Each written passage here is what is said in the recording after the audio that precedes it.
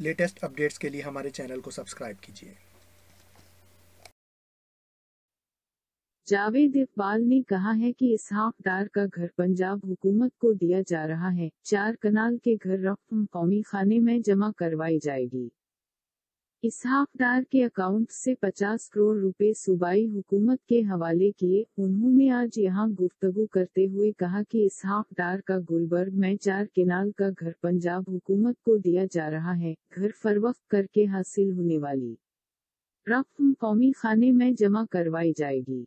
इसहाक डार के अकाउंट से 50 करोड़ रुपए सूबाई हुकूमत के हवाले किए, चेयरमैन मीर ने कहा कि अकराम नवीद से एक अरब मालिक की जायदादी बरामद गए, उन्होंने कहा कि मेगा करपशन की तहकीकात में कोताही बर्दाश्त नहीं।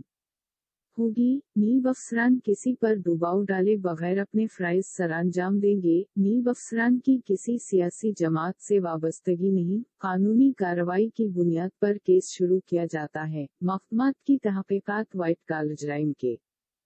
जमरे में आती है। दूसरी जानब कौमी अहतसाब बेवरो सखर ने गवर्नमेंट कंट्रेक्टर अब्दुल रजाक बेहरानी की गिरफ्तारी की तस्दीक कर दी है। अब्दुल रजाक बेहरानी को खुर्शीद शाह केस के सिलसिले में गिरफ़्तार किया गया है। अब्दुल रजाक बेहरानी पर करोड़ों रुपए की खुद बर्द का इल्ज़ाम है जिसकी गिरफ्तारी की नींव सखर की जानिब से तस्दीक की गई है। नींव की जानब से जारी करदा प्रेस रिलीज़ के मुताबिक गवर्नमेंट कंट्रेक्टर अब्दुल रजाक बेहरानी को खुर्शीद शाह केस में गिरफ़्तार किया गया है। प्रेस रिलीज़ में कहा गया है कि अब्दुल रजाक बेहरानी करोड़ों रुपए खुर्शीद शाह के अकाउंट्स में मुंतकिल करता रहा है और मुंतकिल की गई रकम से माली फवायद भी हासिल करता रहा है। नीट के प्रेस रिलीज़ के मुताबिक गिरफ़्तार मलजम जैकब आबाद के तरक्याती कामों के फंड्स में भी खुद बर्द करता रहा है। नीब ने अपने प्रेस रिलीज़ में ये भी कहा है कि रज्जाक बेहरानी मुशीर जेलखाना जात एजाज जखरानी के बेनामी असासों का मालिक